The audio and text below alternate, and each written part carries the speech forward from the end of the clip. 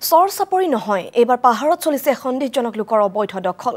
আমচাং অভয়াৰণ্যৰ দাঁতিকাষৰীয়া অঞ্চলত অবৈধ দখল সন্দেহজনক লোকৰ। চন্দ্ৰপুৰৰ চৰ চাপৰিত প্ৰশাসনে উচ্ছেদ অভিযান চলাইছিল যদিও পুনৰ সন্দেহযুক্ত নাগৰিকে ঘৰ বাৰী সাজি স্থায়ীভাৱে থাকিবলৈ লৈছে। চন্দ্ৰপুৰৰ জোনাকী নগৰত সন্দেহজনক লোকৰ আগ্ৰাসনক লৈ উদ্বিগ্ন হৈছে স্থানীয় ৰাইজ। চৰ চাপৰি নহয় এইবাৰ সেউজ পাহাৰত চলিছে সন্দেহজনক নাগৰিকৰ অবৈধ দখল। কাঠফুলাৰ দৰে নিশাটোতেই এনেদৰে পাহাৰত গঢ় লৈছে ইটোৰ পিছত সিটো ঘৰ। এই দৃশ্য আমচাং অভয়াৰণ্যৰ দাঁতি কাষৰীয়া পাহাৰ অঞ্চলৰ। কিন্তু ক'ৰ পৰা এই পাহাৰীয়া অঞ্চল অবৈধভাৱে দখল কৰিবলৈ আহিল এইসকল সন্দেহজনক নাগৰিক?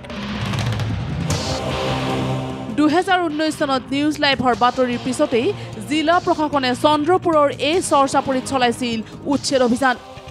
আৰু এই চাপৰিৰ পৰা উচ্ছেদ কৰা সন্দেহজনক লোকসকলেই পুনৰবাৰ আহি আমচাং অভয়াৰণ্যৰ দাঁতি কাষৰীয়া এই পাৰৰ ভূমি অবৈধভাৱে দখল কৰাৰ সন্দেহ কৰা হৈছে।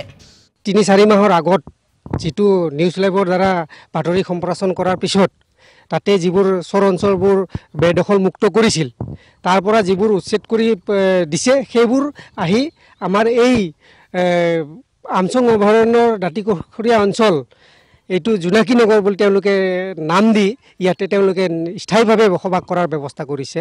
দেখা পাইছোঁ আহি কিনে ইয়াতে বোকাঘৰ সাজি তেখেতসকলক থকাৰ ব্যৱস্থা কৰিছে আৰু ইয়াতে তেখেতসকলে বিজুলী সংযোগৰ ব্যৱস্থাও কৰিছে।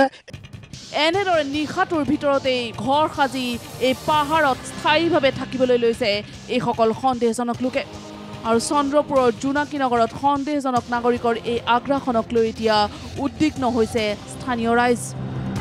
প্ৰশাসনে নিৰ্বিকাৰ ভূমিকা গ্ৰহণ কৰাৰো অভিযোগ তুলিছে স্থানীয় ৰাইজে। এই গছ বন কাটি ধ্বংস কৰা অধিকাৰ ক'ত পালে আৰু সন্দেহজুন নাগৰিক ইয়াতে সোমাব ক'ত পালে? মেট্ৰত এম এল এ শুই আছে নেকি? যে আমচিং অৰণ্য যে ধ্বংস হৈ আছে তেওঁৰ কি বিবেক নাই নেকি? নিজে আহি এই জোনাকী নগৰত আহি চাই যাওক। ৰাতিৰ ভিতৰত আহে ঘৰ বনাই থাকে চৰকাৰক দেখুৱাই দিলে হ'ল এইবিলাক কি কৰি আছে? কিন্তু বাৰম্বাৰ এঠাইৰ পৰা উচ্ছেদ কৰাৰ পিছতো কেনেকৈ পুনৰ আন এঠাইত এই সন্দেহজনক নাগৰিকসকলে বসতি স্থাপন কৰে সেয়াহে এতিয়া ৰহস্যৰ আৱৰ্তত। চন্দ্ৰপুৰৰ পৰা প্ৰবীণ দাৰু নিউজ লাইভ।